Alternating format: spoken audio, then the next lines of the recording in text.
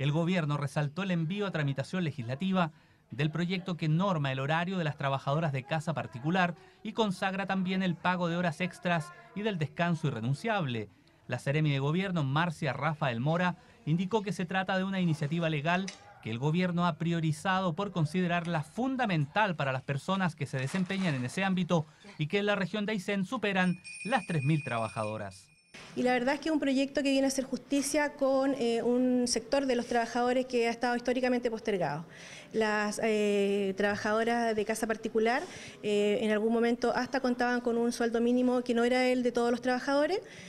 tampoco tenían ninguna razón por tener una jornada distinta en horas de trabajo y eso nosotros hoy día como gobierno queremos hacer justicia con ello y queremos equiparar las horas de jornada de las asesoras de hogar con igual que todos los trabajadores. Eh, y esto tiene que ver también con el marco eh, de la política de gobierno del presidente Sebastián Piñera, justamente de proteger los derechos del trabajador y además de preocuparnos de la dignidad de los trabajadores. Hoy día las asesoras de hogar eh, tienen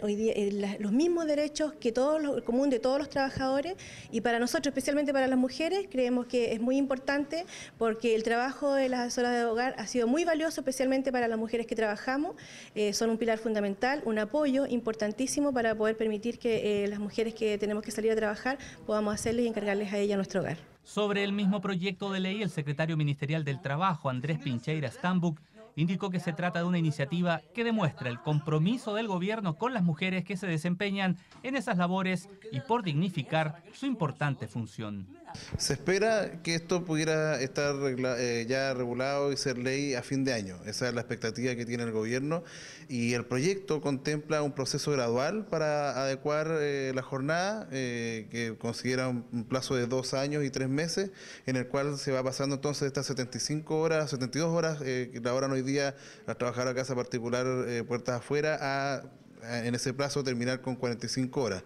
Ahora, igualmente hay otros beneficios que contempla la ley, eh, eh, que es eh, flexibilidad en cuanto al pago de horas extras y que es un beneficio también que se va a traducir eventualmente en una mayor remuneración para las trabajadoras por la jornada que estén trabajando, porque a pesar de ver disminuida su jornada y tener así un tiempo para desarrollar su vida en forma normal, ellas pueden pactar una cantidad de horas extras que está limitada, sí, pero esas horas se deben pagar con un 50% de recargo, lo que representa también un hecho de justicia por ese sobretiempo que trabaja la trabajadora de casa particular.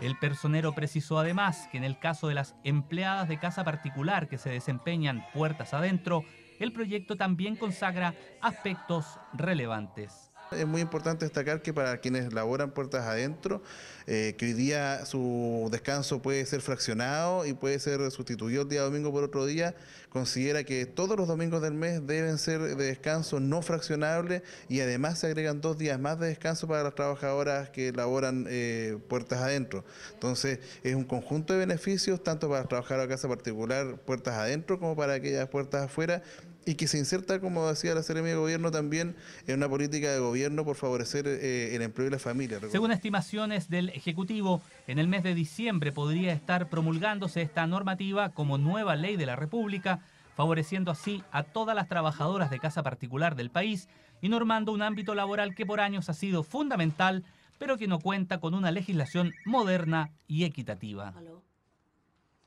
Hola mamá.